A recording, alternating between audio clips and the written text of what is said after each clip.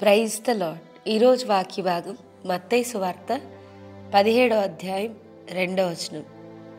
ఆయన ముఖము సూర్యుని వలె ప్రకాశించెను ఆయన వస్త్రములు వెలుగు వలె తల్లనివాయను.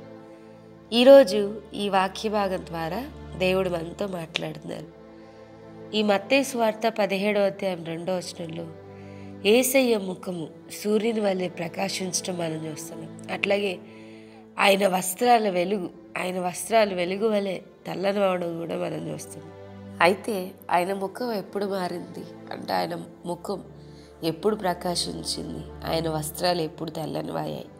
అని మనం చూస్తే కనుక ఇదే మత్తయి వార్త పదిహేడవ అధ్యాయం మొదటి వచనంలో మనం చూస్తే కనుక ఆరు దినములైన తర్వాత యేసు పేతును యాకోబును అతని సహోదరుడైన యోహానును వెంటబెట్టుకుని ఎత్తైన ఒక కొండ మీదకి ఏకాంతంగా పోయి వారి ఎదుట రూపాంతరం పొందాను.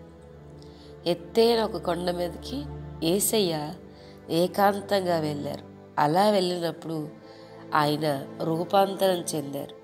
ఎప్పుడైతే ఈ రూపాంతరం చెందారో ఆయన ముఖం ప్రకాశించడం మొదలుపెట్టింది. అట్లాగే ఎప్పుడైతే ఏసయ్య రూపాంతరం చెందారో ఆయన ముఖం సూర్యుని వలె ప్రకాశించింది. అట్లాగే ఆయన వస్త్రాలు వెలుగు వలె తెల్లని అయ్యాయని దేవుని వాక్యం మనతో చెప్తుంది. కాబట్టి మన వ్యక్తిగత జీవితంలో కూడా రూపాంతర అనుభవం ట్రాన్స్ఫిగరేషన్ ఈ అనుభవం గుండా లేదా ట్రాన్స్ఫర్మేషన్ ఈ అనుభవం గుండా మనం వెళ్ళాలి మన ముఖాలు సూర్యుని వలె ప్రకాశించాలి అంటే మనం కూడా ఏసే చేసినట్లుగా మనకి దేవునికి ఏకాంత అనుభవం మనం కలిగి ఉండాలి.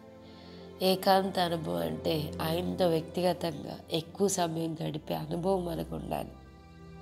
ఆయనతో ఎక్కువగా మాట్లాడేవారంగా ఆయనతో ఏకాంతంగా గడిపే ఈ అనుభవంలోనికి మనం వచ్చినప్పుడు రూపాంతరపరచబడుతూ ఉంటాం. రూపాంతరపరచబడ్డం అంటే ఏంటంటే మనం ఎవరితో అయినా ఎక్కువగా ఉన్నామనుకోండి వారి గురించి మనం ఎక్కువగా తెలుసుకున్నాం అలాగే మనం ఎవరితోనైనా ఎక్కువగా ఉంటే వారిలో ఉన్న లక్షణాలని మనం అభివృద్ధి చేసుకుంటూ ఉంటాం పెంపొందించుకుంటూ ఉంటాం. ఏసయ్య కలవర్చలలో సురూపమైన సొగసైన లేకుండా నలగొట్టబడింది. మనం ఆయన రూపంలోనికి మార్చబడాలి అని. ఈ రూపాంతర అనుభవం అంటే ఏంటంటే మనం ఏకాంతంగా ఏసైతో గడపడం ద్వారా ఏసులా మనం మాట్లాడగలుగుతాం. ఏసులా మనం ఇతరులను ప్రేమించగలుగుతాం. ఏసులా మనం ఇతరులను చూడగలుగుతాం. ఏసులా ఇతరులను క్షమించగలుగుతాం. ఏసయ్య మనస్సుని మనం కలిగి ఉంటాం. ఈ ఏకాంత అనుభవం మనం కలిగి ఉన్నప్పుడు రూపాంతరం మన రూపాంతరపరచబడతాం. అలాగే అప్పుడు మన ముఖాలు ప్రకాశిస్తాయి. ప్రకాశించడం అంటే ఏంటో తెలుసా? మన వెలుగుని ఇతరులు చూడగలుగుతారు. అంటే మనలో ఏసేరు చూడగలుగుతారు. మన నోటి మాటల్లో ఏసేరు చూడగలుగుతారు. మన మనం చూసే చూపుల్లో ఏసేరు చూడగలుగుతారు. మనం ప్రేమించే విధానంలో మన యొక్క అపియరెన్స్లో ఏసేరు చూడగలుగుతారు. ఈ విధంగా మనం ఎప్పుడైతే ఈ రూపాంతర అనుభవంలోనికి వెళ్తామో మనం ప్రకాశించడం మొదలు పెడతాం. అంటే మనం మనలో ఇతరులు క్రీస్తును చూడగలుగుతారు.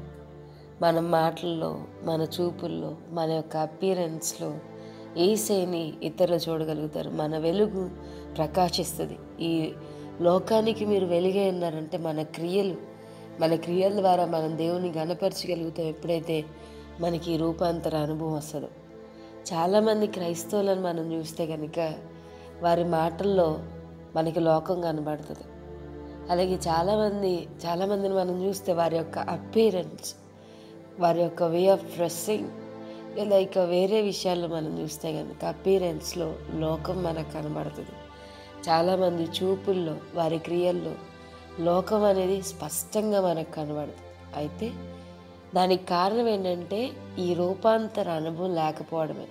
మన వ్యక్తిగత జీవితంలో మనం ఎప్పుడైతే ఏకాంతంగా దేవునితో గడిపి రూపాంతరపరచబడతామో మన క్రియల ద్వారా దేవుని మనం ఈ లోకాన్ని ఖచ్చితంగా రిఫ్లెక్ట్ చేయగలుగుతాం. దేవుడు అట్టి మహాకృపను మనందరికీ దయచేయంగాక ప్రార్థన చేసుకో.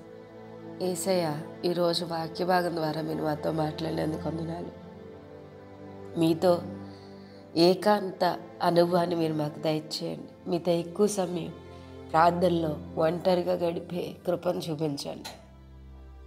మేమందరం కూడా రూపాంతరపరచబట్టకు సహాయం చేయమని నజరేయుడిని యేసుక్రీస్తు అతి పరిశుద్ధమైన నామంన అడిగి వేడుకొంచున్నాం తండ్రి.